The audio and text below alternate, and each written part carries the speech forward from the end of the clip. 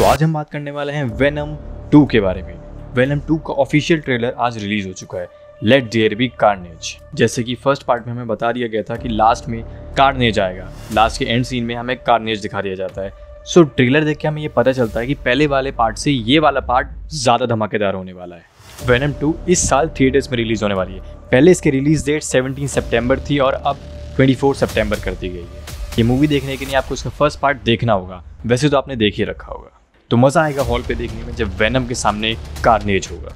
बहुत से फैंस ये चाहते हैं कि वेनम फ्रेंचाइज में सोनी स्पाइडरमैन को भी ऐड करे। मगर ये अभी तक तो कुछ उन्होंने बताया नहीं है। मे भी हमें स्पाइडरमैन आगे की मूवीज़ में देखने को मिले। आपको ट्रेलर कैसा लगा? कमेंट्स में बताइए और चैनल को सब्सक्राइब कीजिए और बेल आइकन दबाइए ताकि आप नेक्स्ट मूवी मिस ना कर।